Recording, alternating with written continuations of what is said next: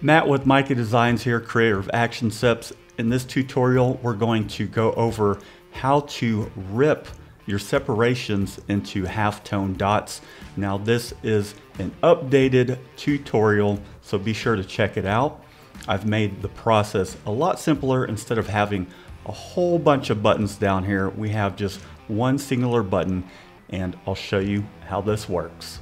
I have my separations done and I just have my file saved as a PSD. You can save a copy of it just to make sure you have your original separations, but I'll demonstrate how to use the action rip function to create halftones if you don't have a rip software. And I'm gonna do this in the same document because it really doesn't destroy it, it just adds to it. So we have all of our separations, which I'm happy with and we're using practically every single color. So let me go ahead and show you how this works.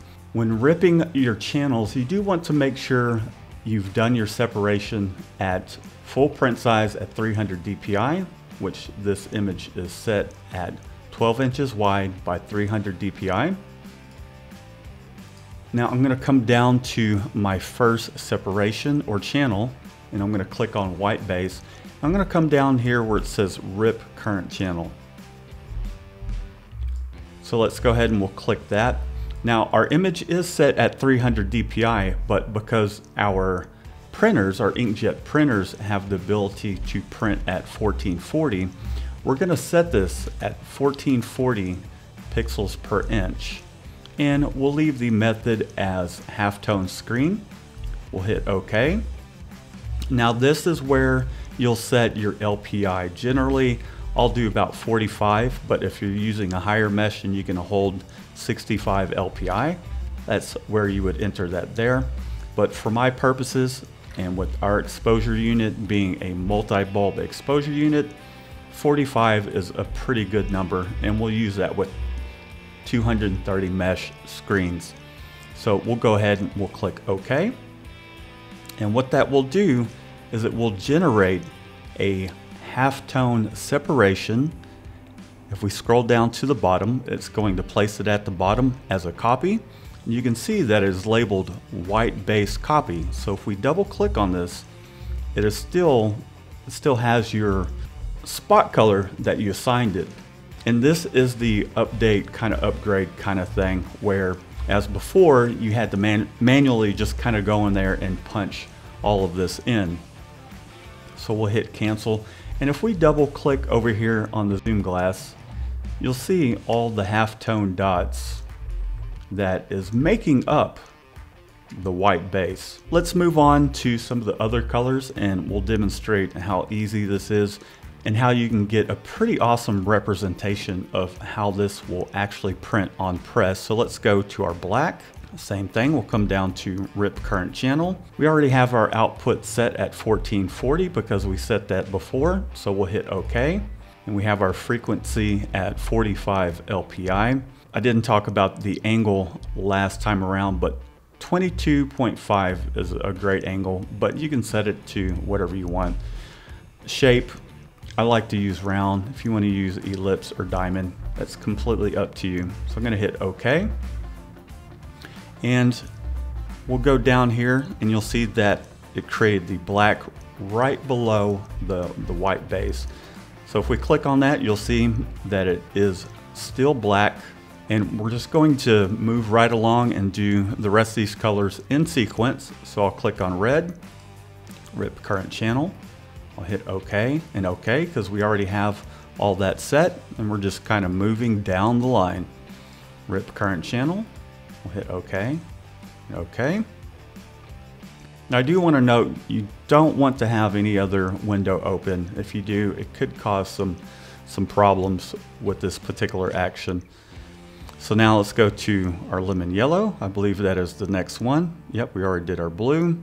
So we'll hit rip current channel, OK, and OK. Next we'll go to our purple, we'll rip that as well and I'm just going to quickly move down the line. Gonna do our turquoise, hit okay and okay. We'll do our cool gray. And last but not least, we have our highlight white. And we're all finished ripping out our separations. If you wanted to, you could go back and delete all the channels that aren't ripped. You can leave them completely up to you. But you would just obviously, if you don't have a rip software, just print it straight from Photoshop to your printer as I show you in the tutorial showing you how to actually print that onto film without a rip. Now, if we come over here to our t-shirt color, we turn that on and we come down to our separation or our channel that is labeled white base. That is the one that, that is what we had just ripped. We can double click on the zoom. You can see all your little halftone dots. And You'll see as we start to turn each of these on how everything stacks on top one another and builds up. So let's go ahead and we'll turn all of these on. You can see just how the, the red and the yellow interact to make some of these orange colors. And if we completely zoom out, you know, it looks just like your separation, except everything is turned into halftone dots. You're getting a, a really great representation here of how it will print on press. Again, we'll double click on the zoom glass to give us 100%. And we'll just kind of scroll around and take a look at some of these things. And we can turn some of these layers off to see exactly how certain separations, excuse me, channels, not a layer,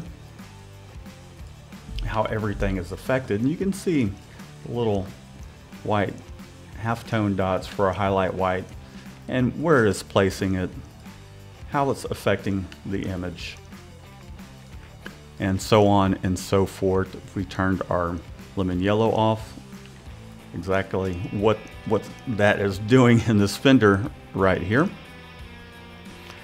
And so that is the update to the Action Rip for those of you that don't have a RIP software and want to use this feature, it's made a lot easier to go ahead and rip all of your separations without destroying the file.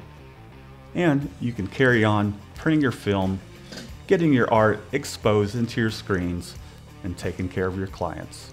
Thanks for tuning in, and we'll see you in the next tutorial.